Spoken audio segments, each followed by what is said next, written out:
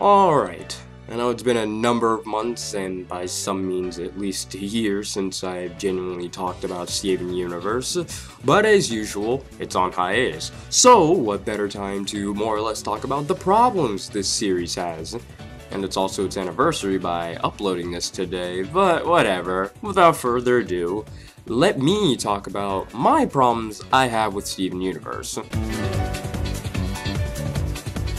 Okay, if anything, that a majority of people can't agree with me on this, and it also doesn't help that a lot of the hiatuses last nearly half a year every time we get about five to seven episodes. That being, in the show, sometimes the story feels like it goes nowhere. And you know what I mean? Beach City episodes, or in other words, filler episodes. Now, if a series does have filler in them, that doesn't automatically make them bad. Sometimes they can work. Say with Teen Titans, like with Season 2, most of it focused on Terra, but a chunk of episodes didn't even have Terra in them. So they were pretty much filler episodes. They were meant for fun and nothing much. Steven Universe, of course, has this, so what's the problem then? A lot of times they are put in the worst moments and most of them are just not fun. Best example or worst case being that the moment when they set up and say that season 5 is going to be the most action-packed, intense moment within the series by far and for whatever reason, within the same season, we have two to three episodes dealing with Sadie and her band. Why?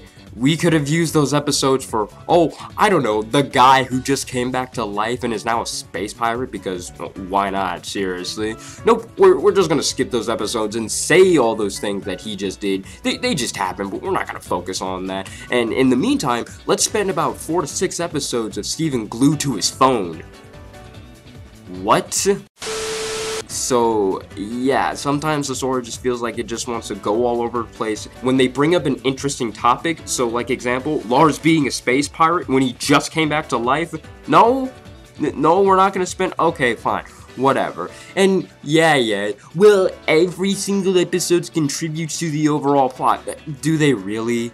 Every single one of them, like Rising Tides, Crashing Skies, Sadie Killer, The Big Show, Onion Gang, A Bit of the Question, Back to the Kindergarten, Half of Dewey Wins, Gemcation, Future Boy Zoltron, Oh yeah, th those are episodes, like, you can't miss them. Like, you have to watch those episodes. They contribute so much to it, even though most of them are not all that exciting. And hey, you know, after escaping death just an hour ago, you want to go help your mayor? Because why not? We, we haven't used him in a while in the story. Oh boy.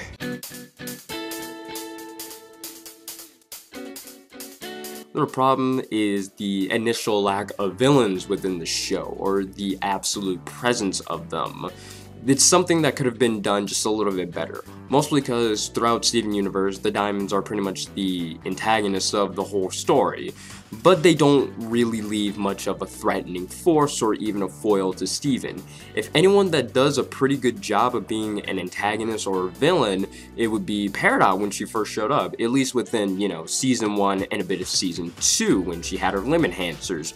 She at least made her presence known to the Crystal Gems and seemed threatening, and she would show her face here and there and would have some involvement into the story every time that she was there. Even if she wasn't, you know, exactly there. She still felt like that she was doing something.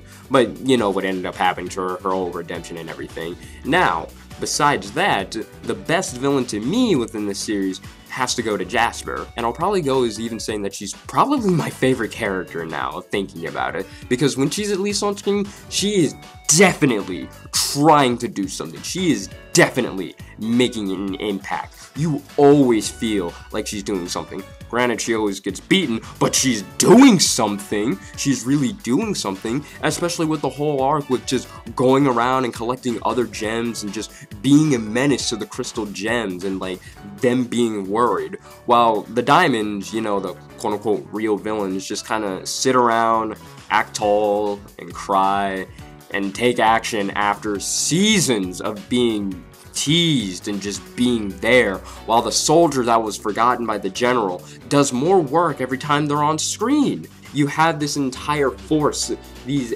galactic aliens that take over the galaxy, and they don't do anything? What? That's such a missed opportunity.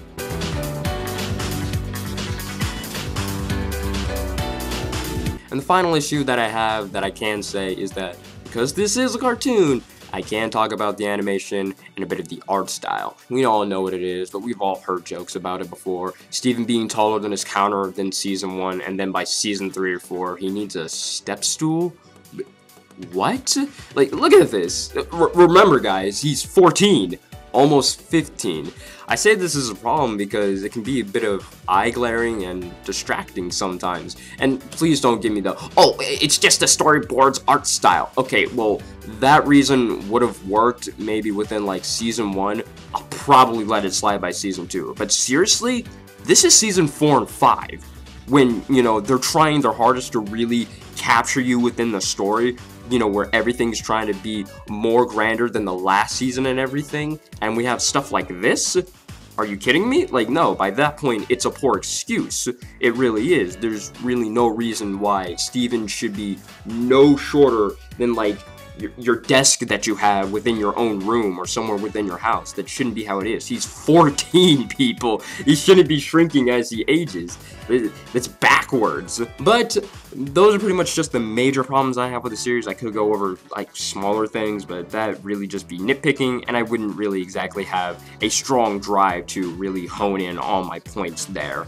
But yeah, and if anything, I don't hate the series because if I did, I wouldn't have had reviewed episodes, made theories, and other videos for the past two years about it. I do like it. It's just that, you know, after all the time of thinking that I've had with the series and everything, looking into it as much as I can, there are some problems that I try not to talk about so it doesn't eschew my view half the time, but by this point, you know, I see why not. I think it's about time that I can at least say what I think is wrong with this series and how it could have been improved upon.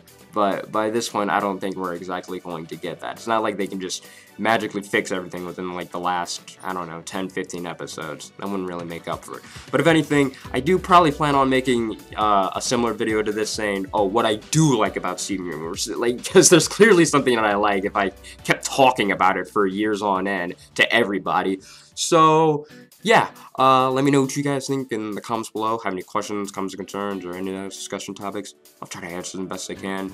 Click all the beautiful links that I lead to other social media sites, and if you go to them, tell them I sent you there. Thank you for watching. That's greatly appreciated. Have a great day, have a great night, and everything else, you know what to do.